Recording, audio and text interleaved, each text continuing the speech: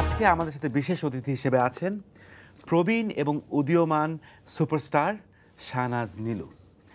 আমাদের সাথে কোনো কথা বলতে চাইলে কোনো মন্তব্য করতে চাইলে কোনো প্রশ্ন করতে চাইলে আপনারা ফোন করতে পারুন zero zero four twenty six nine নাম্বারে। তবে অবশ্যই মিস কল দেবেন না। আপনি ব্যাপারটা কি সুন্দরভাবে ধরে ফেললেন? আসলে নিজেকে বিভিন্ন পরিস্থিতিতে মানিয়ে নেওয়াটাই হচ্ছে গিয়ে একজন উদীয়মান অভিনেত্রীর বৈশিষ্ট্য।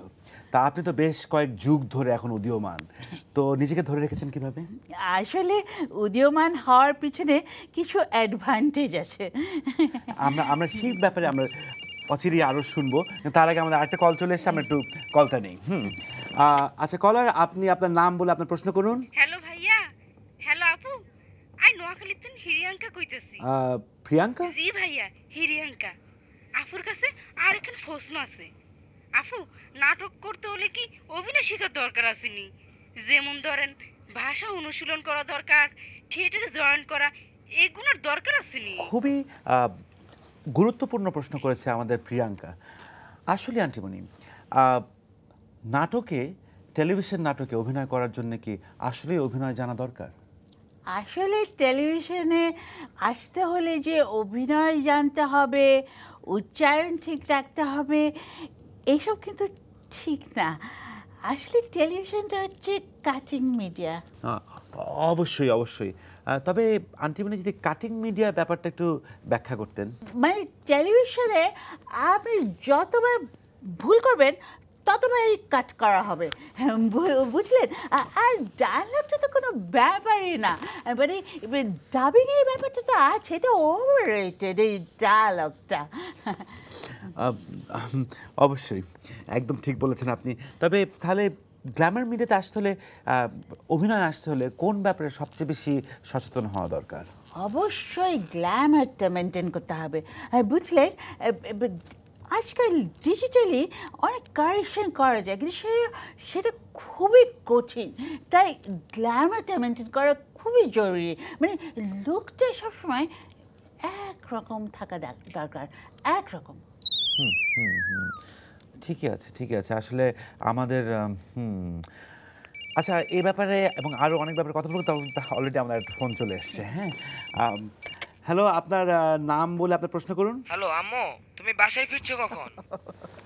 আসলে আমার ভাইটা মজা করছে।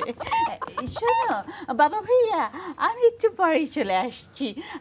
তোমার বোনকে বলে ভালো করে পড়াশোনা করতে ঠিক আছে? আমি তো তাই বলছিলাম যে আপনার এত বড় বড় ছেলে মেয়ে হলো কীভাবে?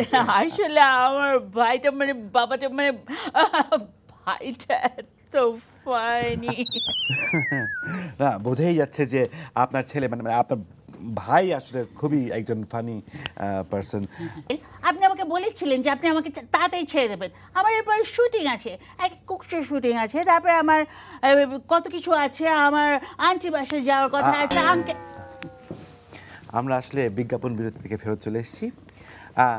আন্টিমণি আসলে এরপরে আপনাকে যেটা বলছিলাম সেটা হচ্ছে যে হিলারি ক্লিন্টন বলেছেন যে উনি যখন অবসর নেবেন ওনার এই এই কারেন্ট পদ থেকে উনি একটা বই লিখবেন। এই ব্যাপারে কি আপনি কিছু জানেন?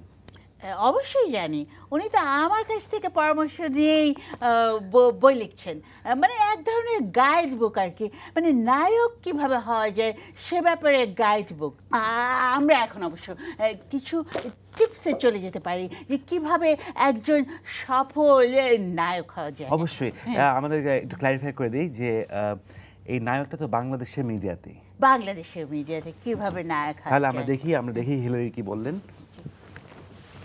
আমি জানি আপনারা অনেকেই নায়ক হবার জন্য অনেক কিছুই করেন। কেউ কেউ সুপার ডাবল জিরো অনুষ্ঠানও করেছেন তাতে কোনোই লাভ হয়নি। যেই লাউ সেই কদু। আপনাদের জন্য আমার কিছু টিপস। এক নায়কের শরীরে চর্বি জমাতে হবে প্রায় আশি মন। দুই উচ্চারিত বাক্যে ষাট ভাগ ভুল উচ্চারণ থাকতে হবে। তিন চেহারা এক্সপ্রেশনহীন রাখার দীর্ঘ কোর্স করতে হবে। চার, দশ মন আটার বস্তা নিমিষে উপরে তোলার প্র্যাকটিস করতে হবে। আন্টিমণি, আপনি কিন্তু হিলারিকে তার গাইড বুক লেখার ব্যাপারে খুব সুন্দর গাইড করেছেন এবং উনি যেসব পয়েন্টগুলো দিয়েছেন সেগুলো কিন্তু আসলেই গুরুত্বপূর্ণ।